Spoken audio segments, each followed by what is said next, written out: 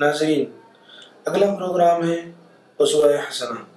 آپ کے سامنے نبی کریم صلی اللہ علیہ وسلم کی مبارک زندگی کو پیش کریں گے۔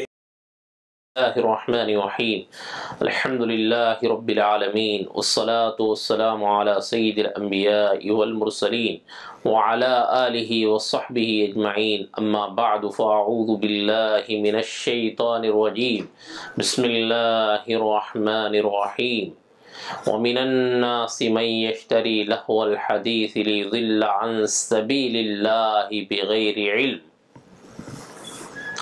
وقال النبي صلى الله عليه وسلم، الغناء ينبت النفاق كما ينبت الماء الزرع او كما قال عليه الصلاة والسلام.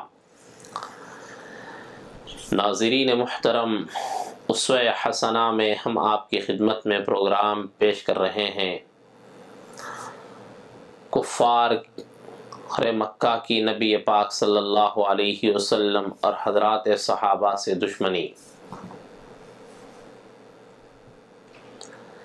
کہ نبی پاک صلی اللہ علیہ وسلم جب دعوت دین کو لے کر کھڑے ہوئے اور پیغام حق، پیغام خدا کو بندگان خدا تک پہنچانے لگے تو اس موقع سے آپ صلی اللہ علیہ وسلم کی مخالفت اور عداوت کا سلسلہ بڑھتا چلا گیا۔ لیکن جو جو مخالفت کا سلسلہ بڑھتا گیا اور جو جو دشمنی بڑھتی گئی، اسی قدر اسلام کی ترقی تیز ہوتی رہی اور اسلام کے ماننے والوں کی تعداد میں اضافہ ہوتا رہا۔ اور اسلام کے نام لیواؤں کی تعداد بڑھتی رہی۔ کیونکہ اسلام کی فطرت میں اللہ نے یہ لچک رکھی ہے اور حق میں اللہ نے یہ لچک رکھی ہے کہ حق کو جتنا دبائیں گے وہ اتنا ہی ابھرے گا۔ جیسا کہ کسی نے شعر کہا ہے اسلام کی فطرت میں قدرت نے لچک دی، لچک رکھی ہے۔ یہ اتنا ہی ابھرے گا جتنا کہ دباؤ گے۔ کہ جتنا کفار مکہ نے دبانے کی کوشش کی۔ قریش مکہ نے جس قدر اسلام سے اور پیغمبر اسلام سے لوگوں کو بدزن کرنے کی کوشش کی، لوگوں کو دور کرنے کی، متنفر کرنے کی کوشش کی اسلام کو اسی اعتبار سے ترقی ہوتی رہی۔ اسلام کے نام لیواؤں کی تعداد بڑھتی چلی گئی۔ تو اسی طرح جب اسلام کو ترقی ہونے لگی، اسلام کی تیزی سے نشر و اشاعت ہونے لگی، تو نظر بن حارث نے قرآن سے اور نبی پاک صلی اللہ علیہ وسلم سے لوگوں کو دور رکھنے کے لیے اے ہتھ کنڈا اپنایا اور یہ حکمت اختیار کی کہ پہلے لوگوں کے افسانے اور ناولوں اور قصوں کو سنانے لگا کہ حیرہ کو جا کر اس نے رستم اور اسفندیار کے قصے اس نے سیکھے۔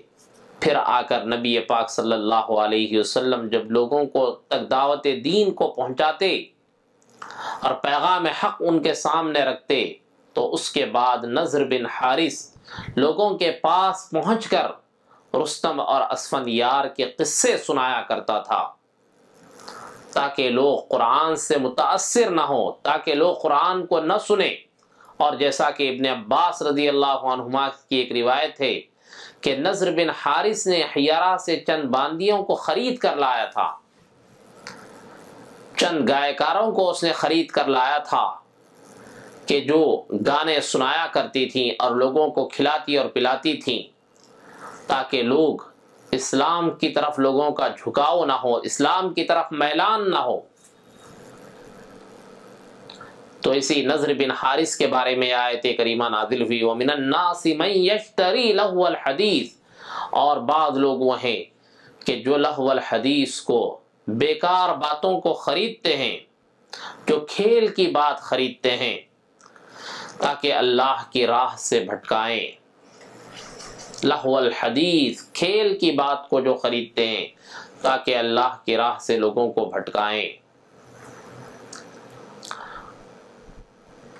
اس آیت کریمہ کی تفسیر میں ترجمان القرآن حضرت ابن عباس رضی اللہ عنہما اور حضرت عبداللہ ابن مسعود رضی اللہ عنہما نے اس آیت کی تفسیر میں فرمایا، لہو الحدیث سے مراد وہ گانا بجانا ہے۔ ایک تو اسلام سے روکنے کی وہ کوشش جو نظر بن حارث نے کی تھی کہ گانے والی لونڈیوں کو، باندیوں کو اس نے خرید رکھا تھا۔ کہ جو گانے بجانے کے آلات کے ذریعے، گانے بجانے، گانوں کے ذریعے سے لوگوں کو اسلام سے روکے رکھتی تھی۔ تو اس آیت کے اعتبار سے اس آیت کا مزداق گانے بجانے کے تمام آلات قرار پاتے ہیں۔ جو بھی کھیل کی باتیں ہیں اور جو گانے بجانے کی قبیل سے جو چیزیں ہیں جس کی وجہ سے آدمی حق سے غافل ہوتا ہے، جس کی وجہ سے آدمی کا ایمان متاثر ہوتا ہے، تو یہ تمام گانے بجانے کے آلات لہو الحدیث میں داخل ہے آج ہم اپنا جائزہ لیں۔ ایک تو قرآن اور صاحب قرآن سے روکنے کی کوشش اور تدبیر نظر بن حارث نے اختیار کی تھی کہ گانے بجانے کے آلات اور گانے والی باندیوں کو اس نے خرید رکھا تھا تاکہ قرآن سے روکا جائے کہ آج اہل ایمان اور اسلام کے نام لیوا اور نبی پاک صلی اللہ علیہ وسلم کے امتی کہ آج لہو الحدیث کو خرید کر لا رہے ہیں۔ گانے بجانے کے آلات خرید کر لا رہے ہیں۔ گویا اپنی دولت کا ایک حصہ گانے بجانے کے آلات کے لیے رکھا جا رہا ہے۔ نبی پاک صلی اللہ علیہ وسلم نے علامات قیامت میں سے اسے بیان فرمایا کہ تظہر القینات کہ گانے بجانے والیوں کی کثرت ہوگی، عام ہو جائیں گی۔ کہ پہلے زمانے میں گانے بجانے والیوں کی کثرت ہونا، اس کا ذرا سمجھ، سمجھنا دشوار تھا کہ گانے بجانے والیوں کی کثرت کیسے ہوں گی۔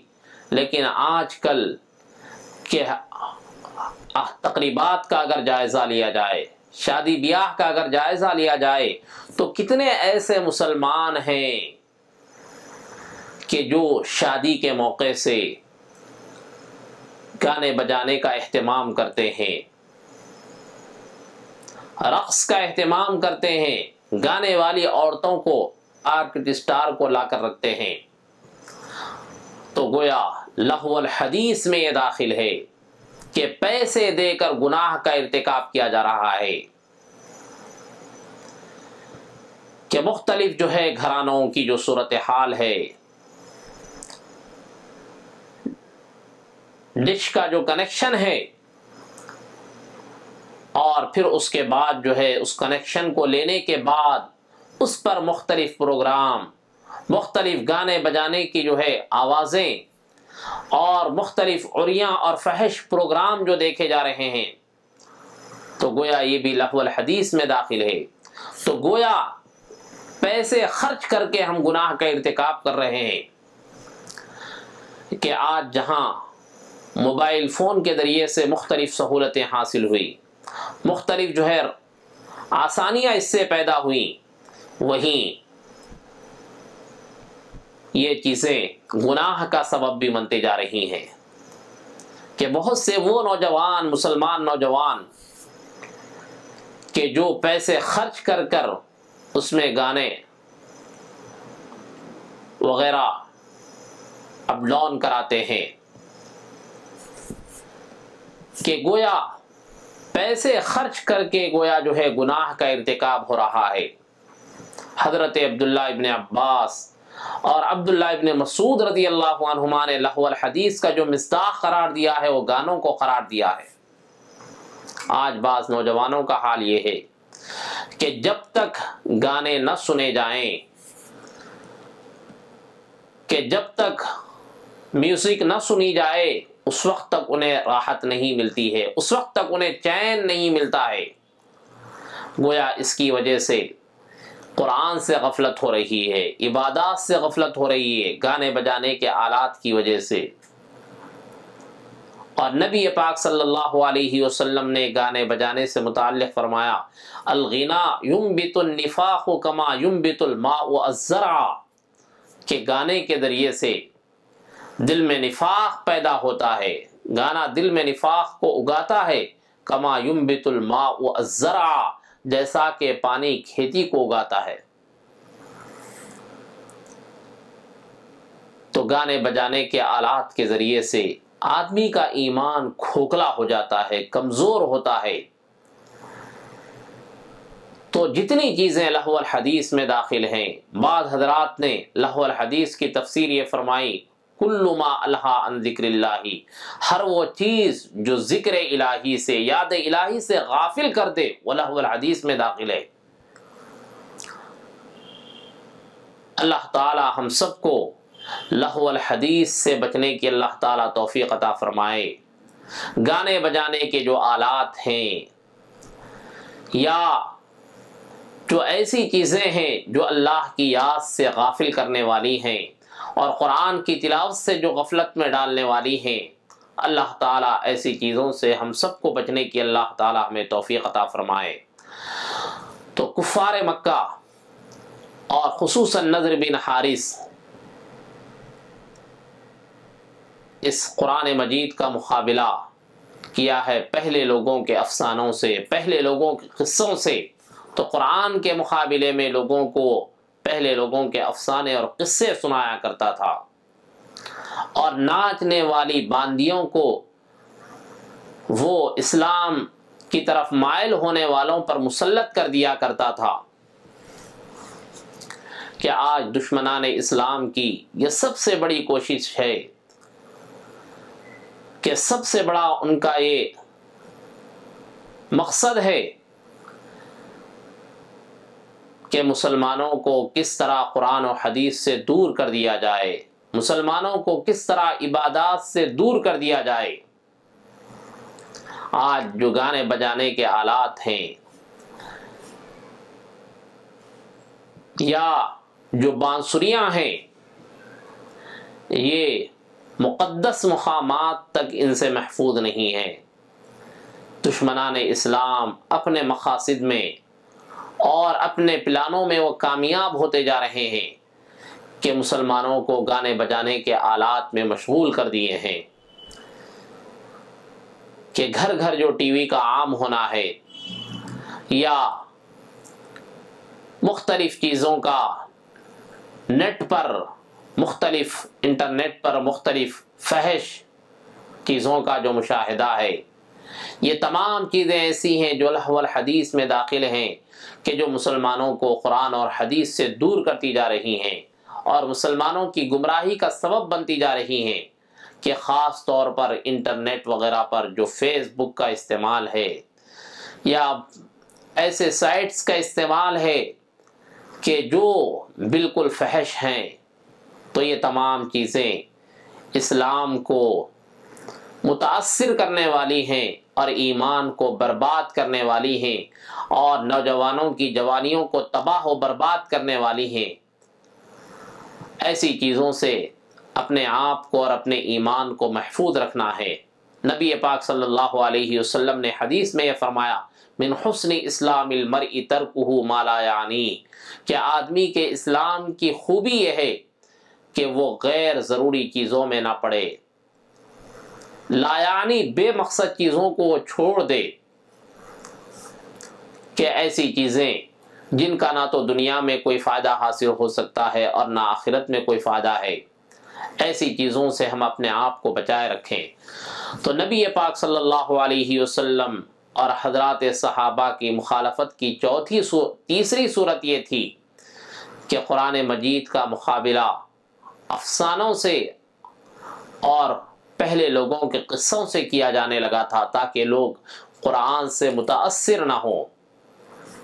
اور اسی طرح محاذ آرائی کی چوتھی صورت یہ تھی۔ سودے بازیاں ہیں۔ کہ مسلمانوں سے سودے بازی کرنا چاہتے تھے۔ یعنی لو اور دو کی پالیسی اپنانا چاہتے تھے۔ گویا کفار مکہ یہ چاہتے تھے کہ مسلمان ان کے بتوں کی پرستش کرے ان کے بتوں کو پوجیں، تو وہ بھی اللہ کی عبادت کریں گے۔ جیسا کہ قرآن مجید کی اس آیت میں ان کے بارے میں کہا گیا، ودو لو تدہنو فیدہنون وہ یہ چاہتے ہیں کہ لو تدہنو فیدہنون، کہ آپ ڈھیلے پڑ جائیں تو وہ بھی ڈھیلے پڑ جائیں۔ تو نبی پاک صلی اللہ علیہ وسلم اور حضرات صحابہ کو اسلام کے تعلق سے کمزور کرنا چاہتے تھے۔ اسلام کے متعلق جو ہے، پائے جانے والے جوش اور جذبے کو سرد کرنا چاہتے تھے۔ اسلامی حرارت کو، اسلامی ٹیمپریچر کو کم کرنا چاہتے تھے۔ تو یہ محاذ آرائی کی چوتھی صورت تھی۔ چنانچہ ابن جریر اور تبرانی کی ایک روایت ہے کہ مشرقین نے رسول اللہ صلی اللہ علیہ وسلم کو یہ تجویز پیش کی کہ ایک سال آپ ان کے معبودوں کی پوجا کیا کریں اور ایک سال وہ آپ کے رب کی عبادت کیا کریں گے۔ ابن جریر اور تبرانی کی ایک روایت ہے کہ مشرقین نے رسول اللہ صلی اللہ علیہ وسلم کے سامنے یہ تجویز رکھی کہ ایک سال آپ ان کے معبودوں کی عبادت کریں اور ایک سال وہ مشرقین آپ کے رب کی عبادت کریں گے۔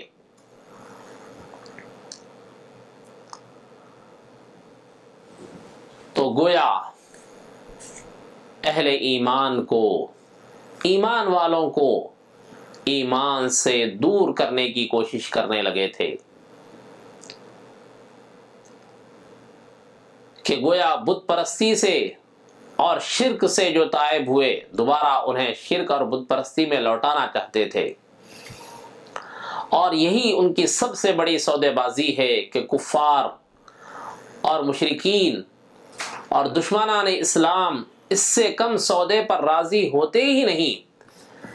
کہ مسلمانوں کو ایمان سے کس طرح برگشتہ کر دیا جائے، ایمان سے کس طرح دور کر دیا جائے، جیسا کہ قرآن مجید میں کفار کے متعلق کہا گیا۔ وَلَا يَزَالُونَ يُقَاتِلُونَكُمْ حَتَّى يَرُدُّوكُمْ عَنْ دِينِكُمْ إِنِ اسْتَطَعُوا۔ کہ مسلسل وہ تم سے جو ہے برسرے پیکار رہیں گے، کہ مسلسل وہ تم سے لڑتے رہیں گے۔ اس وقت تک لڑتے رہیں گے، حتیٰ ردوکم عن دینکم ان استطاعوا، یہاں تک کہ وہ تم کو تمہارے دین سے لوٹا دے اگر ان کا قابو اور بس چل جائے۔ تو کفار اور مشرقین مکہ کی نبی پاک صلی اللہ علیہ وسلم کے سامنے یہ تجویز رکھنا کہ ایک سال آپ صلی اللہ علیہ وسلم ان کے معبودوں کی عبادت کرے اور ایک سال وہ اللہ کی عبادت کریں گے۔ تو یہ تجویز گویا ایک سودے بازی تھی۔ کہ نبی پاک صلی اللہ علیہ وسلم اور حضرات صحابہ سے ایمان کی سودا بازی کرنا چاہتے تھے، کہ ان کے ایمان کو سلب کرنا چاہتے تھے، ایمان سے دور کرنا چاہتے تھے۔ آج اسلام کے خلاف جتنی طاقتیں ہیں، جو تاغوتی طاقتیں ہیں، جو شیطانی طاقتیں ہیں، ان سب کا مقصد یہی ہے، چاہے کفار اور مشرقین ہوں چاہے یہود و نصارہ ہوں، چاہے اور کوئی بھی گمراہ فرقہ ہو، تو اس کا مقصد یہی ہوتا ہے کہ مسلمانوں کو ایمان سے دور کر دیا جائے، ان کے ایمان پر ڈاکہ زنی کی جائے۔ جو مختلف گمراہ فرقے ہیں، قادیانیت ہے، اور مختلف جو گمراہ فرقے ہیں ان کا مقصد یہی ہوتا ہے کہ مسلمانوں کے ایمان پر ڈاکہ ڈالا جائے، ان کو دولت ایمان سے محروم کر دیا جائے۔ تو یہی اسی طرح کا خیال اور اسی طرح کی کوششیں مشرقین مکہ اور کفار مکہ کی تھیں کہ مسلمانوں سے ان کے ایمان کی سودا بازی کرنا چاہتے تھے۔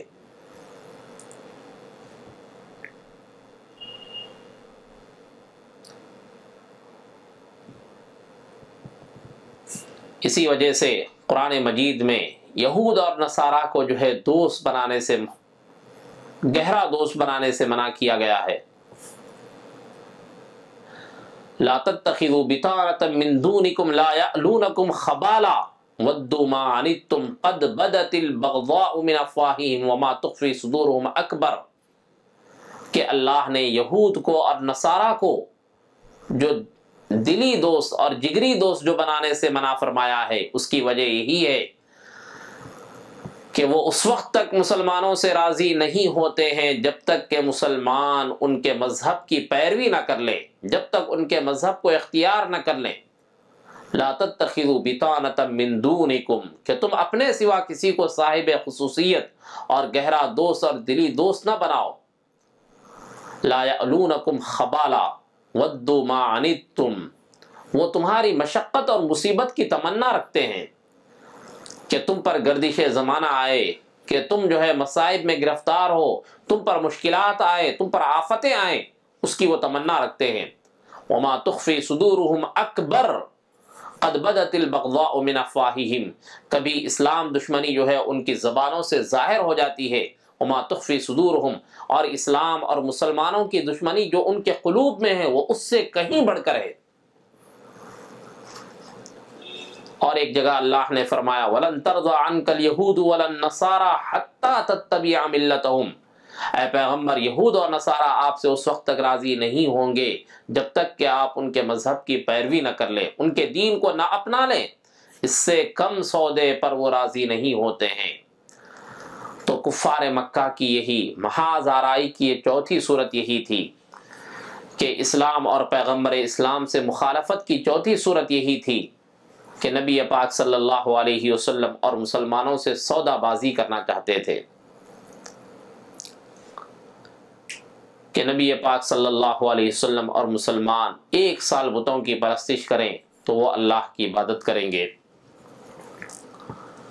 اسی طرح ابن اسحاق کا بیان ہے کہ رسول اللہ صلی اللہ علیہ وسلم خانہ کعبہ کا طواف کر رہے تھے کہ اسود بن مطلب ابن اسد ابن عبدالعزا ولید بن مغیرہ، امیہ ابن خلف اور آس بن وائل سہمی آپ صلی اللہ علیہ وسلم کے سامنے آئے۔ یہ سب کے سب اپنی قوم کے بڑے لوگ تھے، قوم کے سردار تھے۔ اور آ کر ان لوگوں نے کہا کہ اے محمد آؤ، جسے تم پوچھتے ہو اسے ہم بھی پوجیں۔ یعنی جس کی تم پرستش اور عبادت کرتے ہو، اس کی ہم بھی عبادت کریں گے۔ اور جسے ہم پوچھتے ہیں، اسے تم بھی پوجھو۔ ابن اسحاق کی یہ روایت ہے کہ ان سرداران مکہ، ان کفار مکہ نے آ کر یہ کہا کہ جس کی ہم پرستش کرتے ہیں، اس کی تم پرستش اور عبادت کرو۔ اور تم جس کی پرستش کرتے ہو اس کی ہم پرستش کریں گے۔ تو اس طرح ہم اور تم اس کام میں مشترک ہو جائیں۔ تو گویا یہ مسلمانوں سے اور نبی پاک صلی اللہ علیہ وسلم سے ایک سودے بازی تھی۔ جیسا کہ آج بہت سے جو ہے کفار اور مشرقین ایمان والوں کے ساتھ یہ سودے بازی کر رہے ہیں۔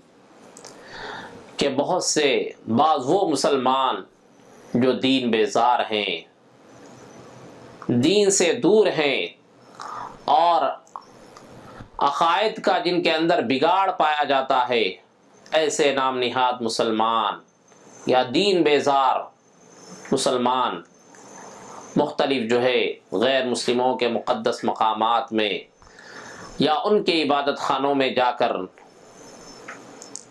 ان کے سامنے ان کی پرستش اور عبادت کر رہے ہیں۔ اور آج یہ کوششیں بڑے زور و شور سے جاری ہیں کہ کفار کی یہ کوششیں ہو رہی ہیں کہ کس طرح جبرن مسلمانوں کو جو ہے تبدیلی مذہب کرایا جائے، کس طرح مسلمانوں کو ایمان سے باز رکھا جائے، ان کے ایمان کو ان کو ایمان سے دور کر دیا جائے۔ تو نبی پاک صلی اللہ علیہ وسلم کے زمانے سے ایمان کے سودے بازی کی یہ کوششیں چلتی رہی ہیں۔ تو حضرات صحابہ نے ایمان پر جو اپنے آپ کو ثابت قدم رکھا ہے اور نبی پاک صلی اللہ علیہ وسلم کی تعلیمات پر جس طرح عمل پیرا رہے ہیں، اللہ تعالی ہم سب کو دین اسلام مرتے دم تک اللہ تعالی ہم سب کو دین اسلام پر قائم رہنے کی اللہ تعالی ہمیں توفیق عطا فرمائے اور ایمان کے سلسلے میں کسی بھی مصالحت سے اللہ تعالی ہمیں محفوظ رکھے۔ وآخر دعوانا الحمدللہ رب العالمین۔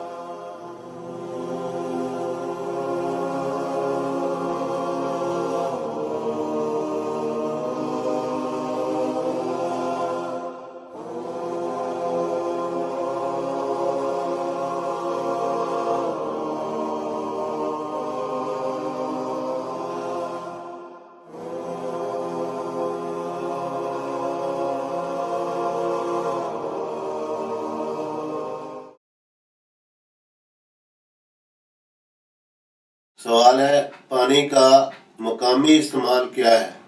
پانی کا مقامی استعمال یہی ہے کہ نہانا، دھونا، جسم کی تطہیر، جسم کی صفائی وغیرہ، اس کے لیے ہم کپڑے دھوتے ہیں، نہاتے ہیں اور اپنے جسم کو بیماریوں سے بچانے کے لیے صاف رکھنا بہت ضروری ہے۔ اور پھر جہاں تک علاج معالجے کا تعلق ہے، تو علاج معالجے میں بھی پانی کا جو زیادہ استعمال ہے، وہ اس طرح ہے۔ مثلا ٹھنڈے غسل جو ہم گرمیوں میں عام طور پر نہاتے، دھوتے ہیں، یہ ہے۔ اور اس کے علاوہ برف کا استعمال ہے یہ ٹھنڈے پانی کا استعمال، اس کے لیے مسٹر لوئس کونی صاحب جرمنی کے مشہور نیچروپیتھ گزرے ہیں۔ انہوں نے بعض خاص تازہ پانی کے ذریعہ سے غسل مقرر کیے ہیں۔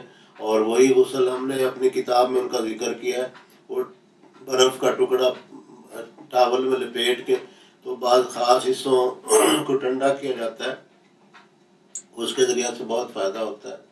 وہ خدا کے فضل سے انتہائی مفید و مؤثر اور بے ضرر علاج ہے، اس سے فائدہ اٹھایا جا سکتا ہے۔